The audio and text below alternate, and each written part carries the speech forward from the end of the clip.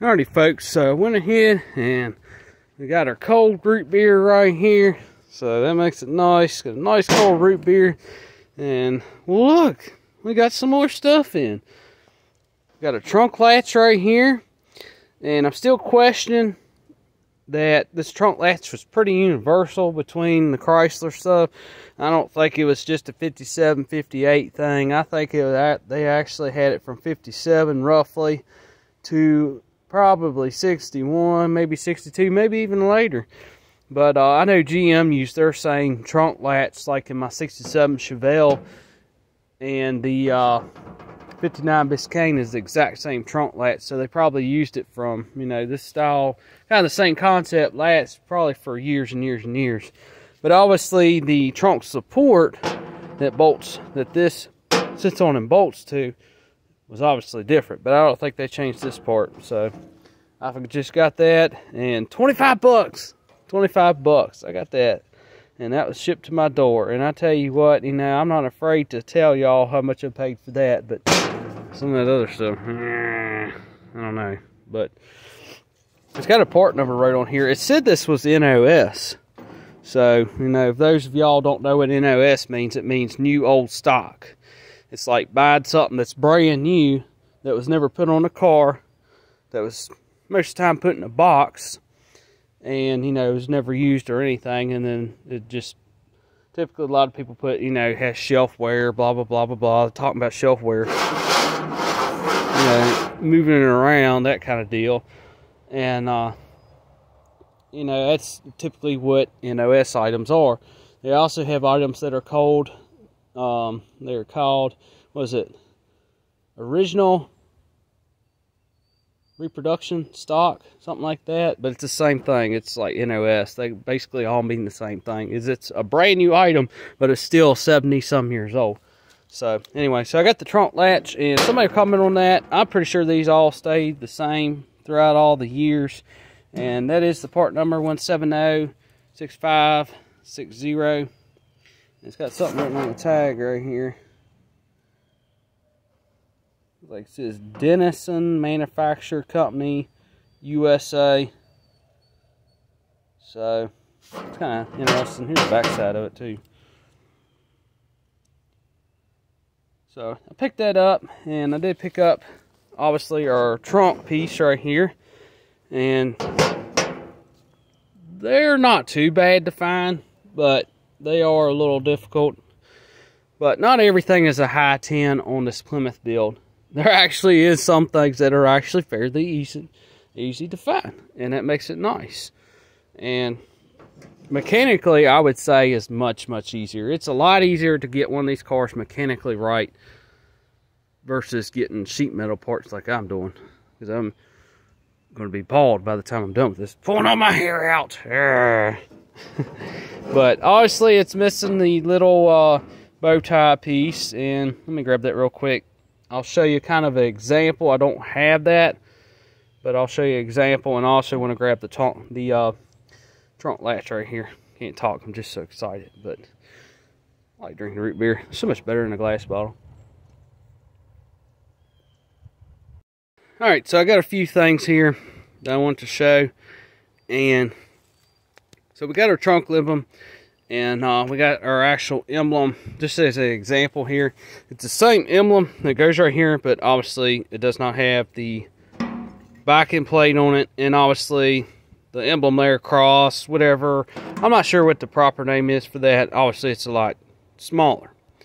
And that's about like that size but that's what all that is and it's the same thing it's just you know smaller that's what goes right there and the trunk latch right here, this is what the trunk latch looks like. That's the three screws for it. And it's got the special star washers on the back. And then also we got our better regular uh, star wheel right here. This is how it locks and all. But very simple design. Ford kind of used that same design on their uh, door latches as well. That's what has that same design. But this is supposed to be designed here so that I believe it goes through just like this, and that's what latches.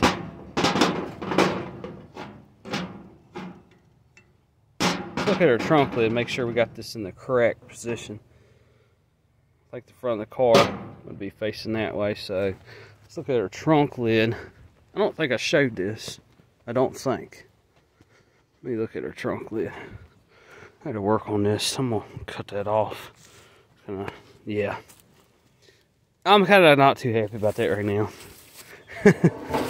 All right, so we have the trunk latch, and then okay, so yeah, there's the pattern. So we got two bolts there. Then we have one at the end. So, okay. So it would go just like this.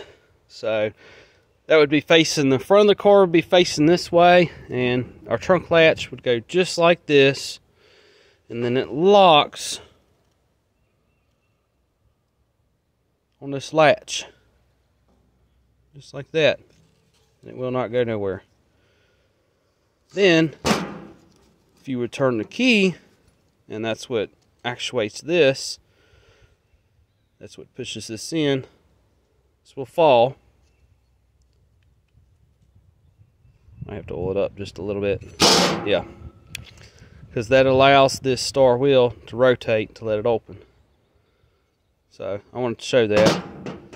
And no, I'm not being rough on this stuff. It's not going to hurt it. I wouldn't sit there and, you know, not trying to tear stuff up. But this is our beautiful, and I know y'all want me to do this. This is our beautiful, I say beautiful, it is beautiful.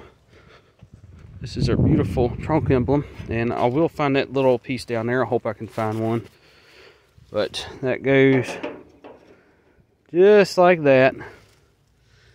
And then we have the lock that goes underneath and really all it is to it. So let me get the lock and I'll show you what we're talking about. This trunk used to have this piece. I showed that in the previous video. So obviously to install your lock cylinder watch me be installing this backwards here hopefully not but no I don't think so.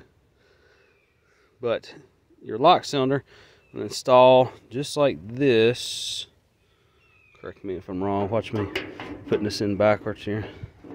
I don't think it is dummy proof.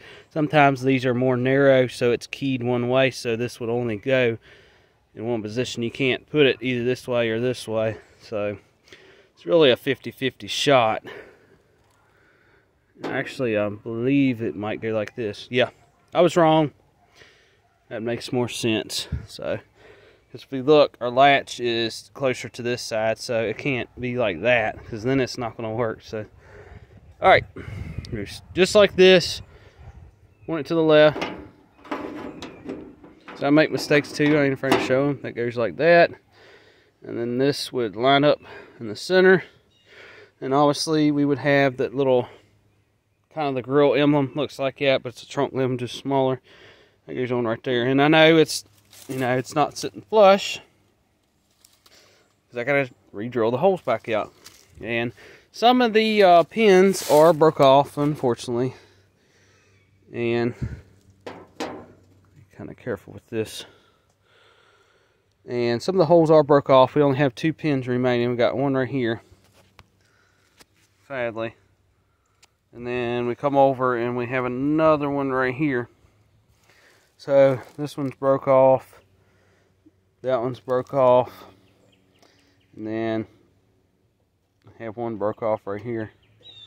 It looks like as well. So I was counting six holes on the trunk lid. So one, two, three, four, five. That would be six. So yeah, it looks correct. So it should work. Interesting.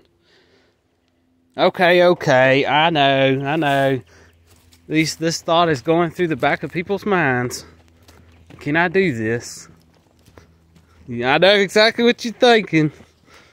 I know exactly what you're thinking, even my snooze. No, I'm not goofing around. I wanted to see something to see this too. Yeah, uh-huh. Uh-huh, you know what I'm thinking.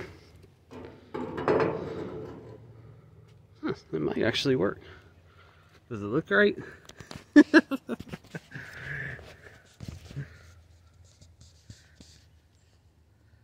can't tell what it looks like. Oh man, that's some horrible camera work. Look at that.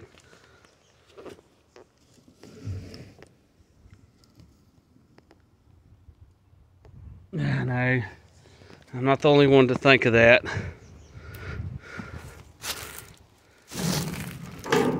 That's probably centered up better.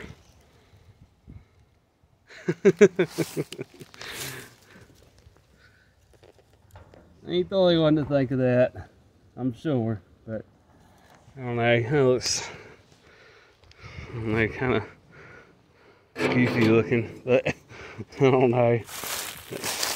Anyways, that's enough goofing around. Yeah, I kind of was goofing around a little bit, but I always wanted to do that. I thought about that, but I'm sure you could do it. But if it was sit on the hood better, I would do it. And then if you could write Plymouth in the middle of it, that would be cool. But anyway, there's the trunk latch and the uh, not the trunk latch our trunk emblem and our lock cylinder.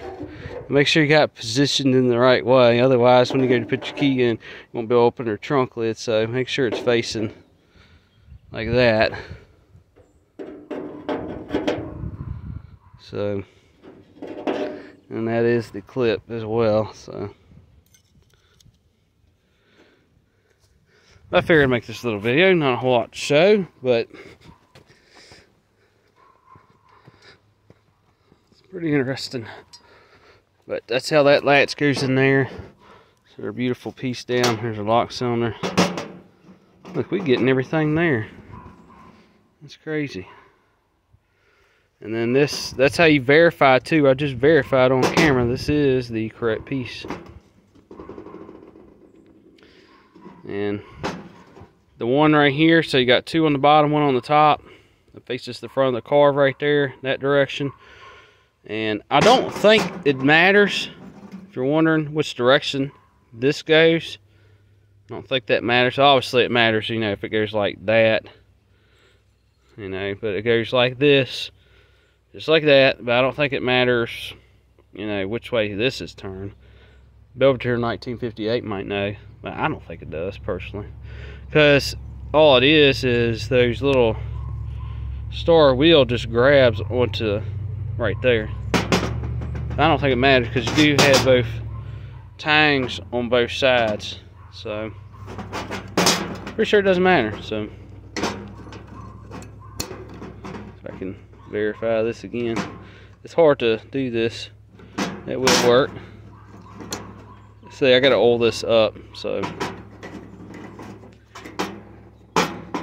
Alright, I'm gonna set this down so y'all can see. I gotta prove that to y'all.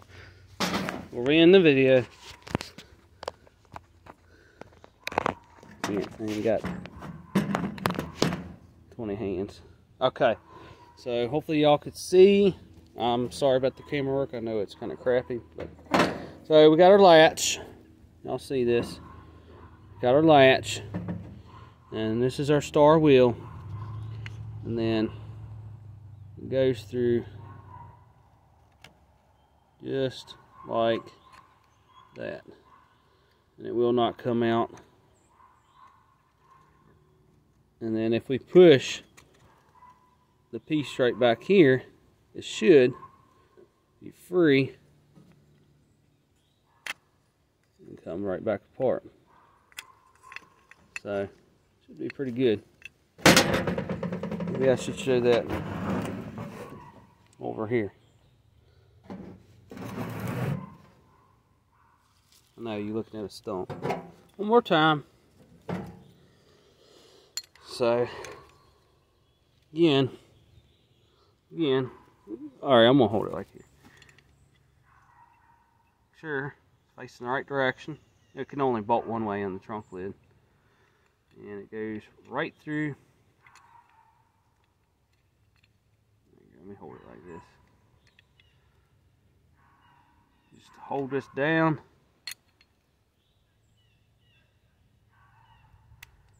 It goes right on there. Now I would think too you shouldn't have to you shouldn't have to do that because actually that's only the function of the key is to push that so that it comes apart.